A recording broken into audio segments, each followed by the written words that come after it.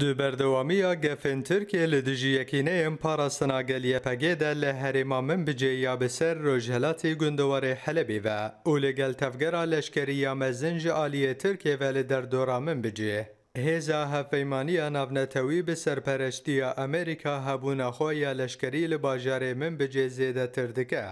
û armanca vêgavê li gorî berpirsên Amerîkî ew e, dabajêr ji êrîşên dijminahiyê biparêzin û li ser şerê rêxistina Daişê tekez bikin.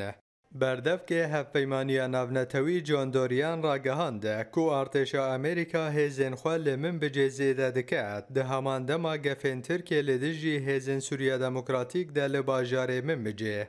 دۆریان دداخویانیەکێ دە دیارکردە و ئارمانجا زێدەکردنا هێزن ئەمریکی لە من بجێ ئەوە داڕێ لە پێش ئێریشێن دژمێناهی بگرنە و ئەڤەک وەکی گەرنتیە لەسەر بەکشاندنا یەکینەیەم پاراستناگەل یە پەگێژ و باژێر بنافکردە.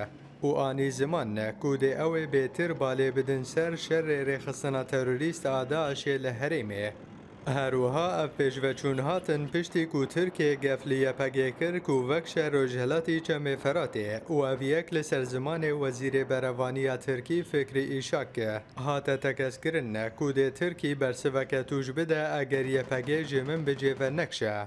او اوگوت کوان که لەشکری مەزن لدر لدردورا من نه دا باجر ژی دەستیە پەگێ خن.